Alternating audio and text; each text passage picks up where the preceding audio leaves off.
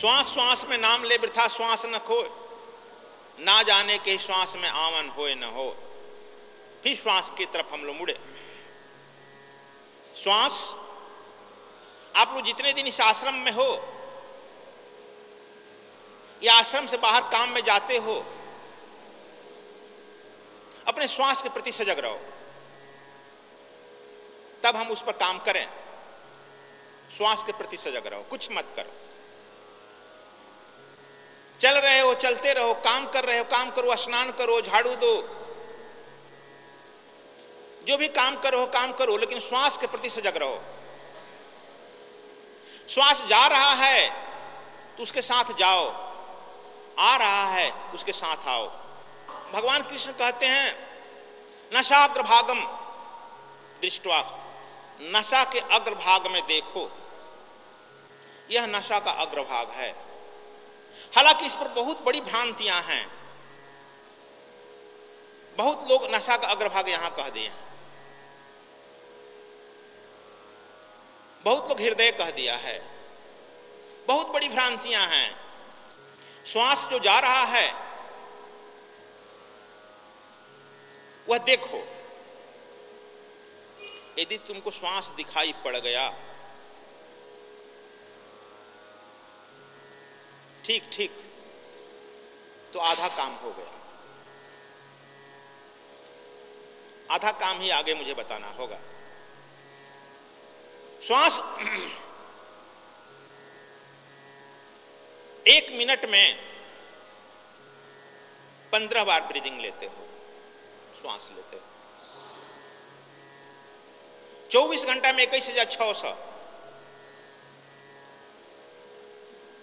चौबीस घंटा में श्वास तुम्हारा इक्कीस हज़ार छह सौ चलता है। पूरी पूरी मैथमेटिक्स है। इस तरह से छानबे करोड़ ब्रीदिंग लेते हो। छानबे करोड़ में इक्कीस हज़ार छह सौ का भाग देगा तो 120 बरस आ जाएगा। यानी 120 बरस की आपकी आयु कांस्टेंट है। अब कम बेसी क्यों हो रहा है? उम्र तुम्हारा कम और बेसी क्यों हो गया? क्यों तुम देव बन गया? क्यों प्रेत जोनी में चला गया?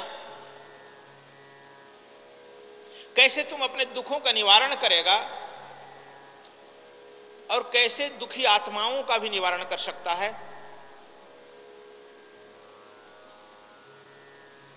इसकी भी कला आर्ट इसमें छिपा हुआ है। जैसे जैसे तुम इसमें प्रवेश करेगा इसका अंतर जगत का रहस्य खुलते जाएगा खुलते जाएगा। यह हम लोग छिपा हुआ है। हम लोग केवल बाहर दौड़ते हैं। सबसे नज़दीक है यह श्वास। नज़दीक है ना? आँख हमारी बहुत नज़दीक है, लेकिन आँख पर हमारा तब तक ध्यान नहीं जाएगा जब तक से आँख में दर्द नहीं हो जाता है। आँख में जब दर्द होने लगता है, तब आँख पर ध्यान चला जाता है, तब आँख के डॉक्टर के यहाँ दौड़ने लगते हैं।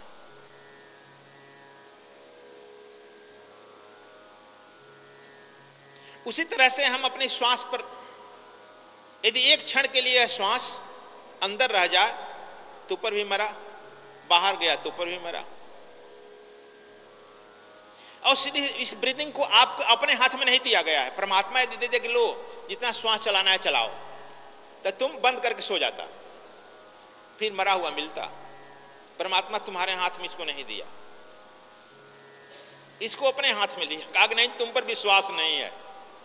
तुम्ही पर विश्वास नहीं है कि तुम अपना श्वास ठीक चला पाएगा। और शरीर की सारी इंद्रियाएँ खुली हैं ना, बंद हैं। केवल दो ही इंद्रियाएँ खुली हैं। नाक और कान। दो ही ना खुला है। और सबको तुम बंद कर सकते हो। कान और नाक को बंद करने का अधिकार तुम पर परमात्मा नहीं दिया। यदि इन दोनों को दे देता, तुम जब मन करता, किसी की बात सुनता, नहीं सुनता। जब मन करता, पत्नी को सुना देता, उसका सुनता नहीं, बंद कर लेता। जाओ चिल्लाती रहो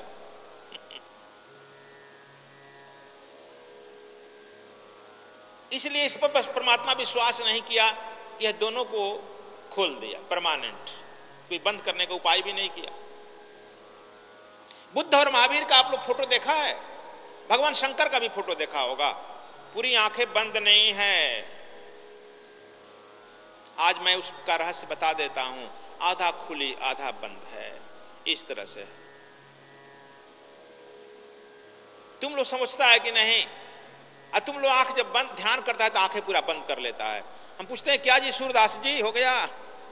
जब आँखें बंद कर लेने से ही काम हो जाता तो भगवान सूरदास बना देते सूरदास जी को अक्सर हम लोग प्रज्ञा चक्षु कहते हैं। जिसको कुछ नहीं दिखाई पड़ता है, हम लोग कहते हैं प्रज्ञा चक्षु हो गया। और जानते हो, अंधे आदमी बड़े विद्वान भी होते हैं। निपढ़, पढ़े निपढ़, पढ़े लिखे आदमी विद्वान होते हैं। जो सुन लेगा, याद हो जाएगा, मेमोरी शक्ति तेज हो जाती है। तो लोग बरईपुर आश्रम में गया होगा, एक हमारे यहाँ से लालू जादव है। और एक और है, हरखू। पटेल है शायद। दोनों निपढ़ है, किसी तरह से अपना नाम लिख लेता है। दोनों जब संस्कृत बोलने लगेगा यहाँ से कितने लोग गए थे वो आकर हमसे कहते गुरु जी बड़ा पंडित था ना, विद्वान था काशी का ना लोग? दोनों संस्कृत जब बोलने लगेगा, कबीर साहब की दोहा छुपाइयाँ बोलने लगेगा तो तुम लोग चुप होकर अवाक होकर देखने के सिवा कोई कारण नहीं होगा। यह विद्वता जो है तथा कथित विद्वता रटा रट करके बोझ हो जाता है। जिस तरह से गधे पर शास्त्र बाँध दो और उस शास्त्र से गधे को कोई मतलब नहीं होता है, उसी तरह से इसे कोई वास्ता नहीं होता है, बोझ हो जाता है। इसलिए मैं कहता हूँ शास्त्र के चक्कर में मत पढ़ो शास्ता के चक्कर में पढ़ो शास्ता, वह प्रबुद्ध गुरु होता है जो तुम्हारे दसम द्वार को खोल देता है। जब तुम्हारा दसम द्वार खुल जाता है, तब तुम बुद्धत्व को प्राप्त कर जाते